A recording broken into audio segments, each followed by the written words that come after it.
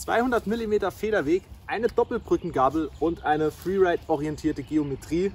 Das habt ihr hier alles in einem E-Bike mit dem Axis E-Cross.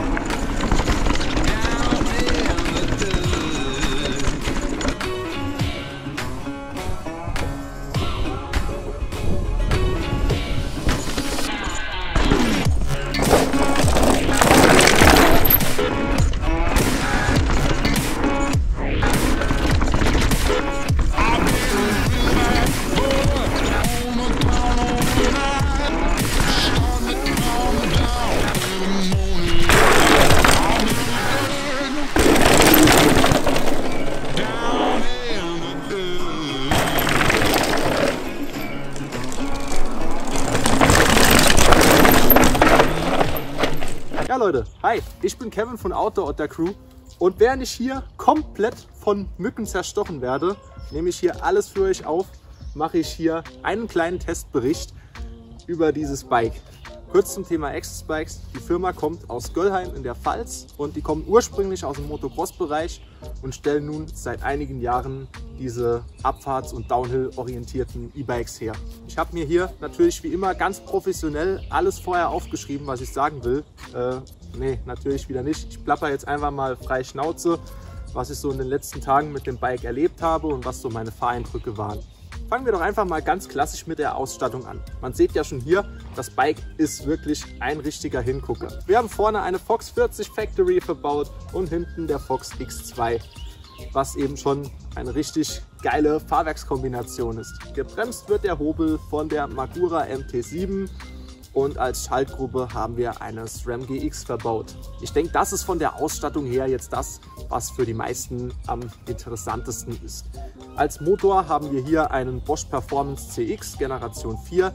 Ich denke, zu dem Motor ist alles gesagt worden, was es zu sagen gibt. Da möchte ich jetzt auch nicht weiter drauf eingehen.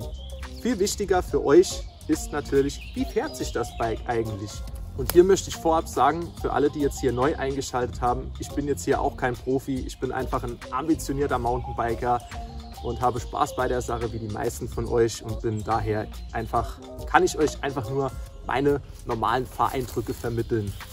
Ich würde sagen, bevor es runter geht, geht es natürlich immer berghoch und ja, es ist ein E-Bike, man kommt schön entspannt den Berg hoch, aber ich denke, man muss nicht zweimal hinschauen, um zu sehen, dass dieses Teil eher für bergunter gebaut ist und jetzt nicht gerade ein Allrounder Tourenfully ist. Also man kommt berghoch, aber wenn es mal so ein technischer Uphill wird, dann wäre natürlich das nicht die erste Wahl. Berg runter, was ist mir aufgefallen?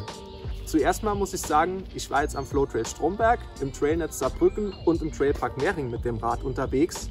Und ich hatte an allen Spots jetzt nicht das Gefühl, dass ich das Potenzial des Fahrwerks und des Bikes wirklich zu 100% ausnutze. Ich hatte eben definitiv das Gefühl, etwas zu viel Bike dabei zu haben. Ist das trotzdem geil? Ja.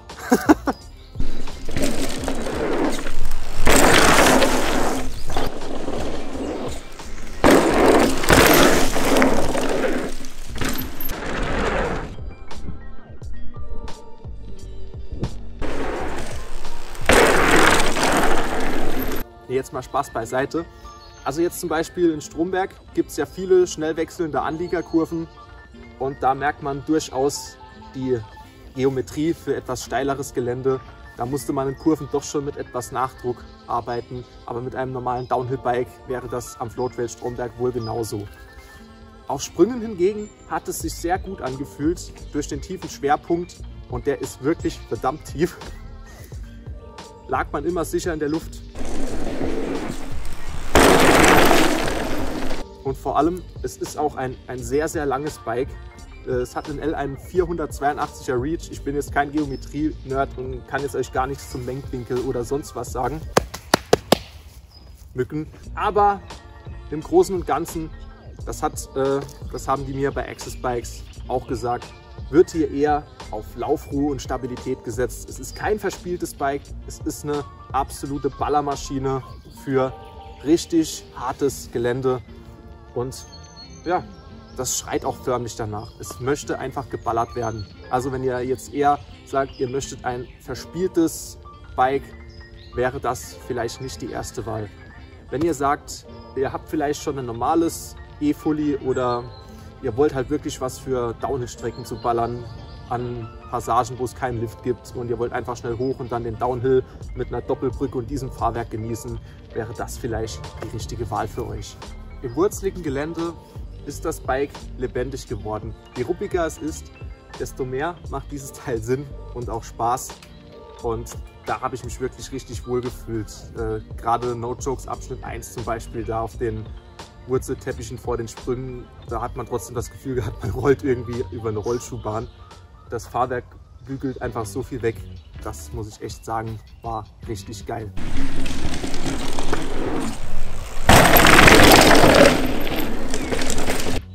Des Weiteren gibt einem die enorme Reserve und die abfahrtsorientierte Geometrie schon ein enormes Selbstvertrauen.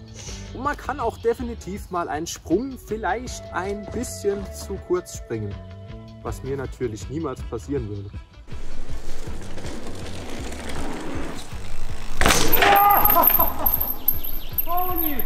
Liebes Team von Access Bikes, ich bitte recht herzlich um Entschuldigung für diesen äh, nicht ganz kleinen Case. Ich wollte hier nur demonstrieren, dass man mit diesem tollen Freeride-Bike durchaus auch mal einen Sprung etwas zu kurz in die Landung scheppern kann. Alles kein Problem, das Teil steckt alles weg. Und natürlich habt ihr mit diesem Fahrwerk auch keine Probleme, wenn ihr mal einen großen Drop springt. Geht alles ohne Probleme mit diesem Bike. Komme ich zu den Punkten, die mir persönlich nicht so gefallen haben. Bei mir ist jetzt die Sache, ähm, mir wurde da tatsächlich ein XL empfohlen. Ich habe mich jetzt aber für ein L entschieden. Ich liege also zwischen zwei Größen. Und ich muss halt auch sagen, ich komme von 29 Zoll.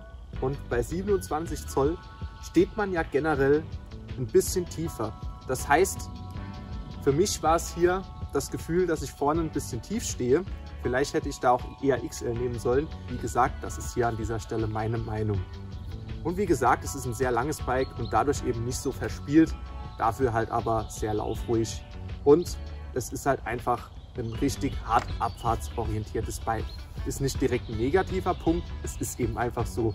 Und für denjenigen, der sich so ein Bike kaufen möchte, ist es wahrscheinlich dann an dieser Stelle genau das Richtige. Natürlich bleibt zu guter Letzt die Frage des Preises. Also Leute, wir haben hier ein Carbon E-Fully mit Alu-Hinterbau, Fox Factory Ausstattung, einer Magura MT7 Bremse und SRAM GX Schaltung für einen Preis von aktuell 8500 Euro. Und das ist preis-leistungstechnisch eigentlich schon ein richtiger Kracher. Natürlich ist es jetzt kein Schnäppchen, es ist eine Menge Geld, aber einfach eine absolut tolle Preis-Leistung meiner Meinung nach. So Leute, morgen geht das Rad zu Access Bikes zurück. Ich hatte sehr viel Spaß mit dem Teil und ich bedanke mich bei euch, Access Bikes Team, nochmal recht herzlich, ähm, dass ihr mir die ein paar Tage das Rad zur Verfügung gestellt habt. Und ich packe euch allen den Link zu Access Bikes in die Videobeschreibung. Da findet ihr natürlich alle Informationen zu dem Rad. Und ähm, schreibt gerne in die Kommentare, wie euch das Rad gefällt. Oder wenn ihr auch noch Fragen habt zu dem Rad, schreibt es gerne in die Kommentare. Und dann würde ich sagen, sehen wir uns wie immer in den nächsten Videos. Ciao. Alter, ich gehe kaputt hier. Ah! Kurz zum Thema Access. Nein.